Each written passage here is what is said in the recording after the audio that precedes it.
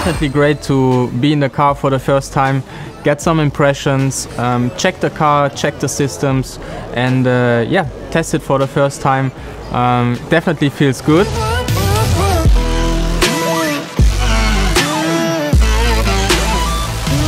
You can see it, it's a first relief clear after the effort the whole team spent to bring the car on track.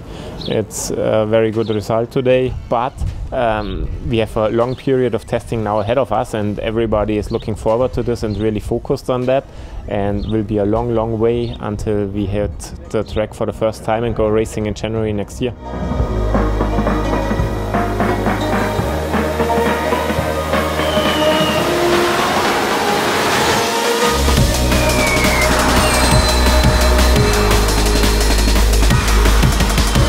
The car is a lot faster, first of all, and uh, that's what's really cool for, for us drivers. Um, it's lighter, um, it's smaller, so it should suit uh, street circuits a lot more. Always on a new car, there's a lot of potential, and it will be important to find a lot of potential in the beginning to be competitive.